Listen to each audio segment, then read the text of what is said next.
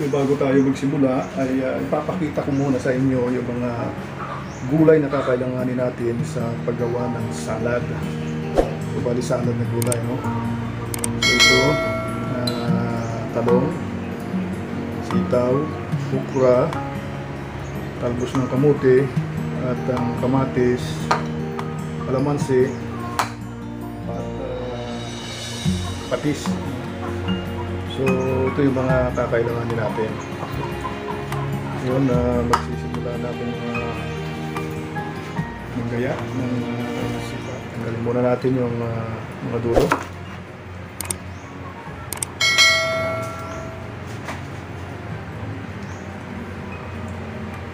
Gayatin natin siya ng mga 2 inches ang haba.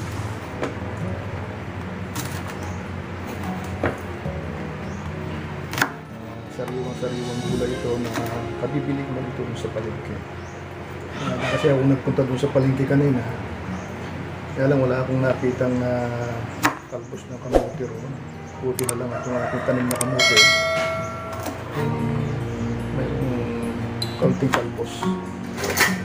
Sabi lang natin sa mangkok.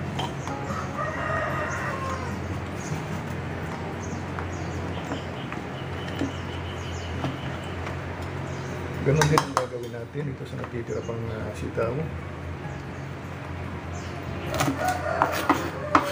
Kaya natin uli natin ang 2 uh, inches ang haba. So, hindi na sa inyo kung anong gusto nyong haba ng uh, uh, gayat ninyo sa sitaw. So ako kasi, eh, ito ko lang medyo may itchy na bulto. Tapos na. Lang mamaya.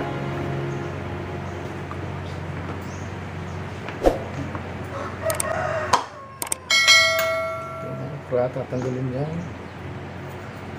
Nakadulo.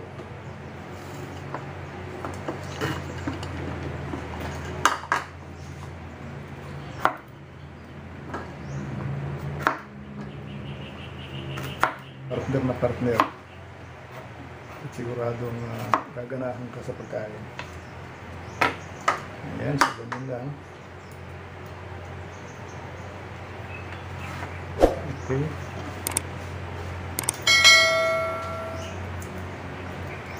Tapos to kamatis ano, hugasan ko muna.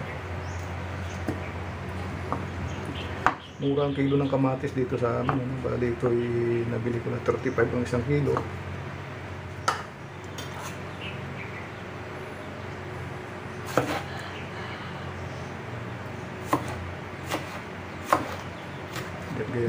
natin ito si uh, kamatis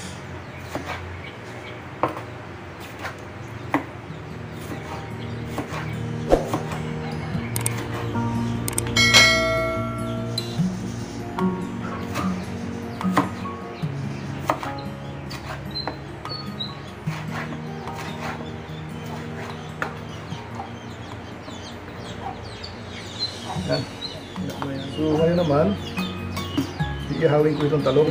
Bali, apat na pirasong talong ito.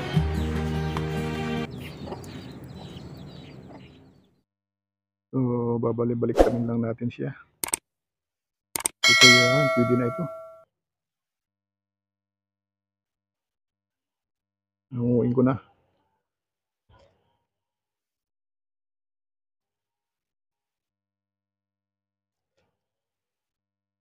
Palalamig-lamigin ko lang ito bago ko balatan. Ngayon naman, uh, magpapakulo na ako na. So ngayon, uh, kulo na siya. Lalagay ko na itong uh, sitaw muna.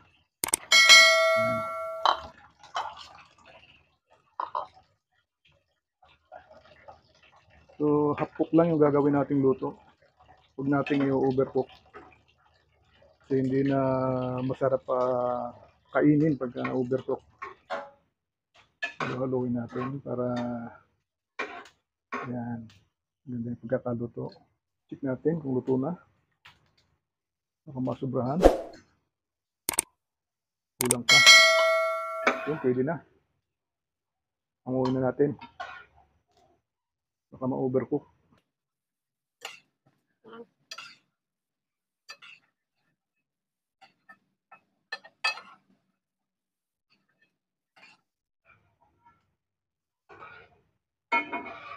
Wala na. Okay.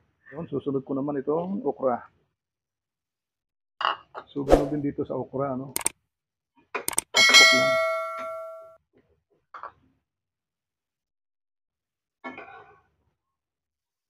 Pwede na siya.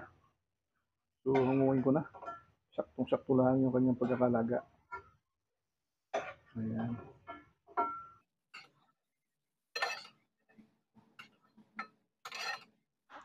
Sunod natin ang talbos ng kamote. Yan. Panghuli. Ganun uli. Bali, hapkok lang natin ito. Hindi natin susubrahan ng pagkakaluto. Kaya pag tayo naglalaga, kailangan babantayan natin. Kasi nga tulad ng sabi ko, hindi masarap pagka lusak yung mga gulay. Masarap kainin. Maganda yung half cook lang. So okay na siya. Tayin ko na nga po at aanguin ko na. Mm, yan. Half cook ang pagkakaluto. Babalatan ko ngayon itong ah, talong. Kasi malamig na siya, hindi na siya mainit.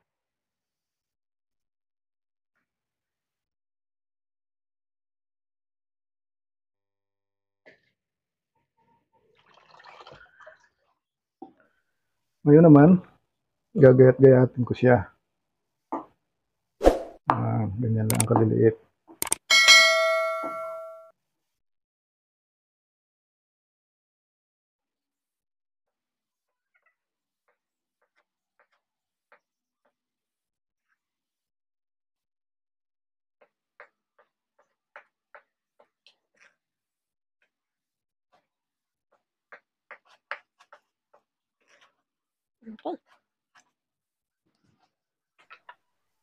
Ngayon naman, ilalagay na natin dito sa malaking lalagyan. Pagsama-samahin na natin silang lahat. Ayan. Yung kamatis, nalagay ko na rin. Tapos, tabi muna natin ito at mag pipiga tayo ng kalamansi. Mayroon din palang sibuyas, ano, nakalimutan ko palang sabihin kanina na lalagyan din natin ng sibuyas. So, sibuyas muna. Ating uunahing gayatin bago yung kalamansi. Ilagay muna natin yan lahat bago natin ilagay dun sa mga gulay. Bali, dalawang sibuyas yung aking ah, gagayatin. Ayan. So, ngayon naman, kalamansi. Pipiga tayo ng kalamansi. Okay.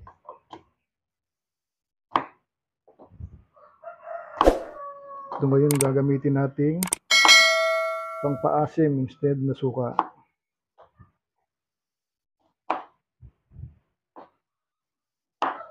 Okay. Ayan, pipigayin ko na.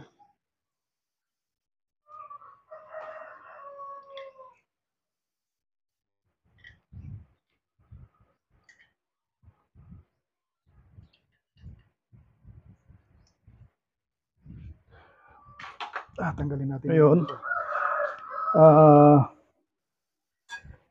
ilalagay ko na itong kalamansi. Tapos ang pampaalat natin dito, hindi asin, kundi ah, patis. Mas masarap kasi pag patis. Yan. So, lalagyan natin ng isang kutsara muna. Mamaya natin dagdagan kung sakaling kulang pa.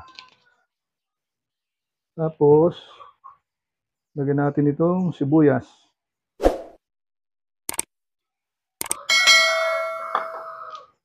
Itong uh, inihaw na talong. So, mix-mix muna natin.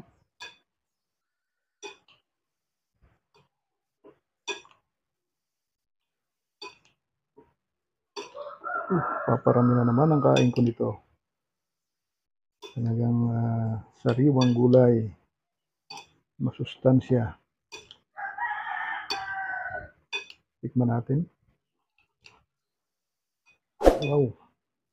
Sarap. Kulang pa. Mag- Mag-add pa na tayo ng ah ito. Another ah, isang kutsarang patis. Halo uli.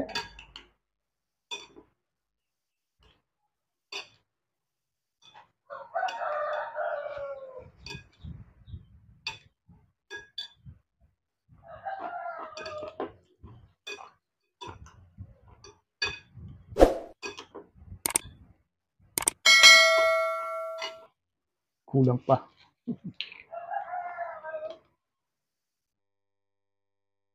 Yan ang paglalagay pa kunti-kunti ano. Kasi pagka dinamihan natin kagad, eh baka masubrahan ng alat.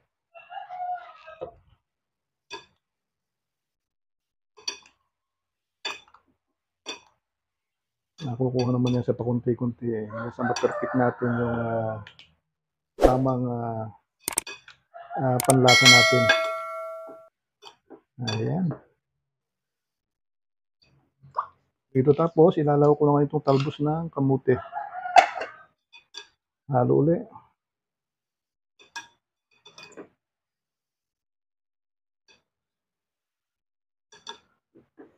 Wow. Gutom ka agad ako. Sarap siya.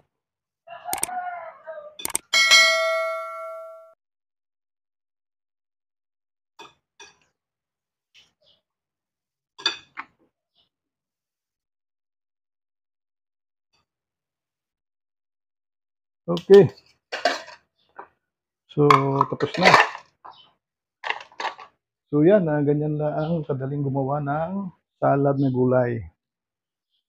Masarap at masustansya.